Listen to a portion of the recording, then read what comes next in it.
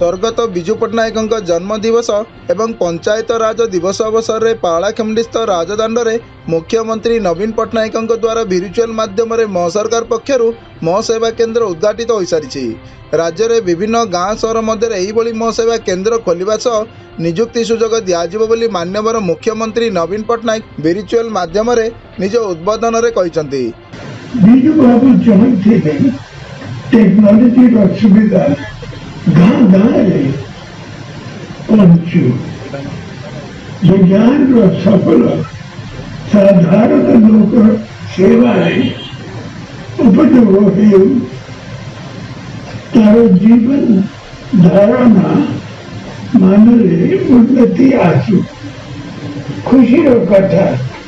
आदि बीजू बाबू को जन्मदिन रे सारा राज्य रे तीन हजार रूप अधिक मोर सेवा केंद्र खोला गला यही सेवा केंद्र सहायता और सुविधा ने सोए प्रकार सरकारी सेवा निजो घर आखोर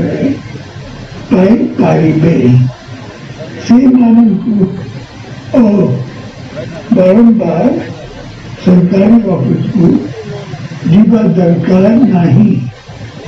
तेरा कराया आठ हजार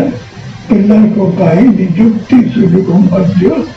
सृष्टि है बहुत यो परिप्रेक्षीर गजपति जिल्लापालपम साह उपज संग्राम केशरी पंडा पौरपालिका कार्यवाह अधिकारी अशोक कुमार प्रमुख उपस्थित रही विसी माध्यम मुख्यमन्त्री आलोचना गरि आज अब मौसेवा आरम्भेन्ट तरफुपी मोड्रे श्रेय सहज अर्गान सहित बुके अफ सर्भिसेसमेन्ट र बर्थ सर्टिफिकेट ଓଏସ୍ଆର୍ଟିସିରେ ବସ୍ ଟିକେଟ୍ ବୁକିଂ କରିବାଠୁ ଆରମ୍ଭ କରି ସମସ୍ତଙ୍କର ସିଙ୍ଗିଲ୍ ପଏଣ୍ଟ ଆମର କଣ୍ଟାକ୍ଟ ରହିବ ଏଇଠି ଗୋଟେ କେନ୍ଦ୍ରରେ ଆସିକି ସେମାନେ ତାଙ୍କର ଗୋଟେ ନୋମିନାଲ୍ ଚାର୍ଜେସ୍ ଦେଇକି ସମସ୍ତ ପ୍ରକାର ସୁବିଧା ପାଇପାରିବେ ଆଉ ବାରମ୍ବାର ଗଭର୍ଣ୍ଣମେଣ୍ଟ ଅଫିସକୁ ସବୁ ଯିବାକୁ ପଡ଼ିବ ନାହିଁ ହଁ ଆଜି ତ ଏଇଟା ଆମର ଆରମ୍ଭ ହେଲା ମାନ୍ୟବର ମୁଖ୍ୟମନ୍ତ୍ରୀ ଆରମ୍ଭ କରିଛନ୍ତି ଆଗାମୀ ଦିନରେ ଏଇଟା ଆମର ଜିପି ସ୍ତରରେ ଏବଂ କାଶୀନଗର ତଥା ପାରଳାକ୍ଷମୁଣ୍ଡି ଟାଉନରେ ଆମର